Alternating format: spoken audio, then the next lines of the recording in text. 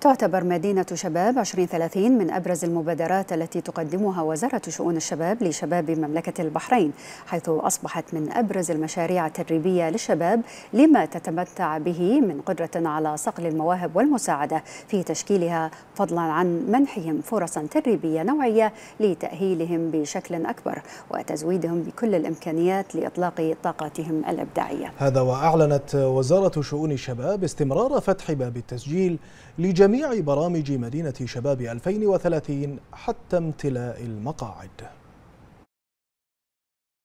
مدينة شباب 2030 المدينة النموذجية. التي تضم الفئة الشبابية بكافة اهتماماتهم وطموحاتهم وميولهم العلمية والأكاديمية والتي تعتبر من أبرز المبادرات التي تقدمها وزارة شؤون الشباب طيلة السنوات الماضية.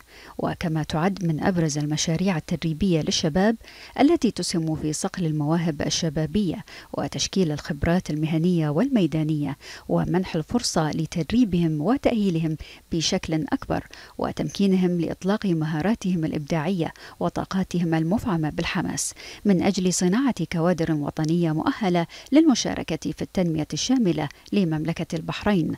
وتعتبر مدينة شباب 2030 من المبادرات الشبابية التي تمتلك سمعة متميزة اكتسبتها عبر تخريجها للعديد من النماذج الشبابية التي وجدت طريقها إلى النجاح والإبداع في مختلف المجالات وفي هذه النسخة ستواصل الوزارة تقديم الفرص التدريبية المتميزة لتأهيل الشباب البحريني بكل ما يحتاجونه للإبداع والتميز.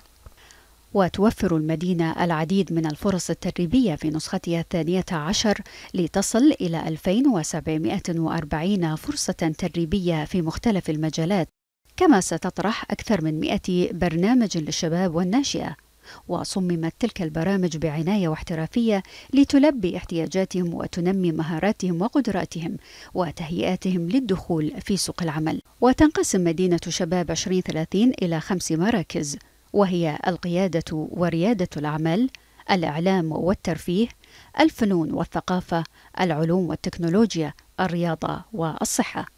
وسيتم تقديم العديد من البرامج داخل هذه المراكز مع التركيز فيها على المشاريع التي تهدف إلى تعزيز الجانب التقني والعملي والإبداعي في جميع مجالات مراكز المدينة.